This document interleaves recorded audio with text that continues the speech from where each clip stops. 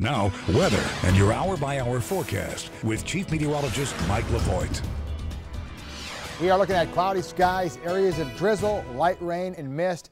That'll be the story for late tonight and overnight. We'll actually start to see some shower activity begin to move into our area here across the region. Matter of fact, take a look at this. Scattered showers, even some isolated thunderstorms overnight into early tomorrow morning. So for the morning commute on Tuesday, temperatures climbing into the mid to upper 50s. But the other half of the story, we're going to see some rainfall. And some of this could be some heavy rainfall, some thunder, Definitely uh, make sure you have the rain gear ready. The kids are ready for that, and you may need to leave definitely a few minutes early for the morning commute. It is going to be slower than normal with these uh, very wet roadways. Little break in the action. This is by 9 o'clock or so in the morning. And then as we go throughout the, the day on Tuesday, Mostly cloudy again, areas of drizzle, some mist until we hit late in the afternoon with another batch of some rain moving in, even some isolated thunder. So don't put away the umbrella. You're going to need it from time to time. Again, tonight, Showers move in overnight. Could see some thunder, 53. And then throughout the day on Tuesday in the yellow alert, occasional rain, maybe heavy, even an isolated thunderstorm possible. 62 degrees will be the high temperature.